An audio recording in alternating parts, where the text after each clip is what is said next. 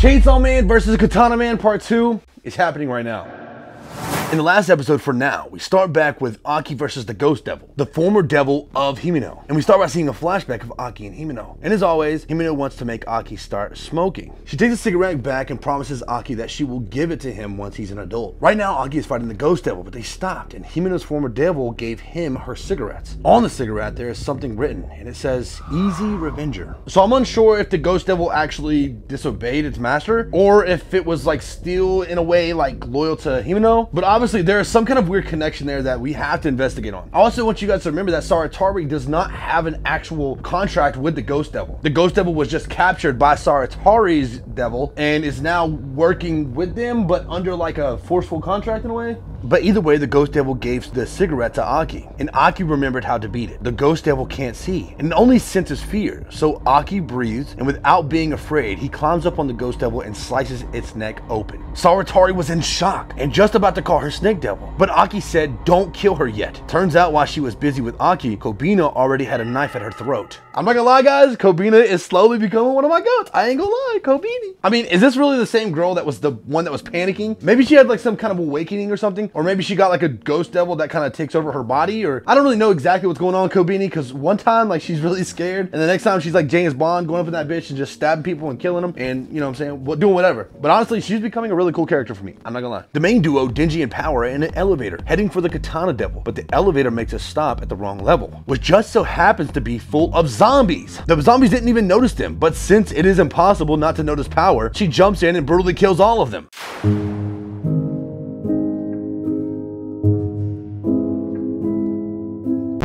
Denji, on the other hand, is like, nope, and closes the door and heads up where the Katana Devil is already waiting for him. The Katana Devil goes on about how Denji can live without feeling even a tiny bit of remorse after killing the Yakuza, and that he might turn himself in if Denji apologizes and let him kill him. He won't believe that he killed the Yakuza because they turn into zombies. The Katana Man, regardless, tells Denji that he doesn't have a human's heart anymore because he doesn't feel a bit of guilty for killing those people, even if they turned into zombies. And this is something that we also talked about last week. If you guys remember our breakdown last last week. If you didn't watch it, go watch it. Again, this is Denji realizing that he has no emotions to anything. Last week when he was asking himself, would I care if Power died or Aki died or Makima, if anybody had died? He noticed that he didn't care. And if you guys remember in the beginning, very first episode, he was a very emotional person who did care about things, like Pochita and his dad. But ever since Pochita had taken over his heart, he didn't care anymore. And that's why this moment right here hits a little bit closer to home than normal, especially for Denji, who doesn't care for anything except the hot Mill. While this may have worked on some other Shonen main characters, Denji straight up says no. And yeah, obviously, fucking A, I keep stepping on this ladder.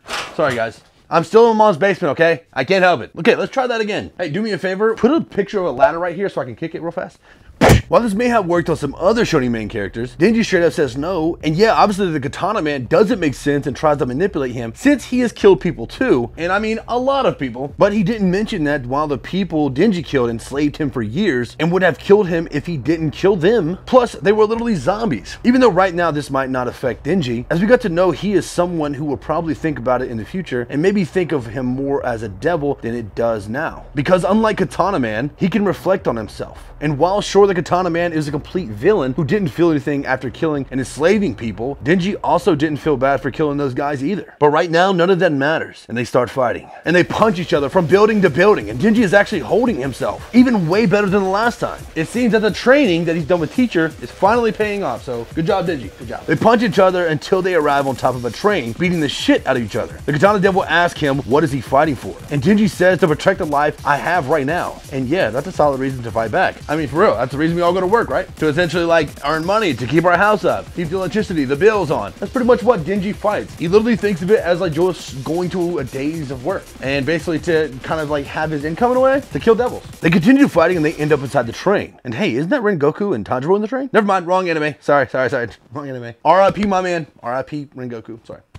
The fight continues in the train where the passengers are, and Denji ended up protecting people. So the Katana Man got a full hit on him, and that's showing again that he is still one of the human, and not like the Katana Man. After he gets rid of one of Denji's hands, Denji says he still has one chainsaw on his head, and that he can still fight with. So with the typical anime sword fight clash, and like a Zoro fashion, Denji and the Katana Man, they're like fighting each other, and he's all like, ching! And like, you know how they stand? Like they're standing like this right here, and then like all of a sudden like one falls, and the other one's like this right here, And you're like, yeah, I'm super strong. That's pretty much what happens. And Denji's head chainsaw got broken in the process. He actually mega brained the Katana Man because he straight up lied. His head chainsaw wasn't the only chainsaw he had. He made another one. In his leg, which he sliced the Katana Man in half and won the battle. Quoting his sensei, Denji says, What hunter tells his prey the truth? Now that's cold. I ain't gonna lie. That was cold. That was kind of cold. I ain't gonna lie. After the Katana Man wakes up, he is tied up on the train rows and they're waiting for the cops to come. Aki joins them and Denji has an idea. Since he killed Himeno, he wants to make a contest and the winner is whoever gets Katana Man to scream the loudest by kicking him in the nuts wins. I'm not gonna lie. that's that's evil as shit.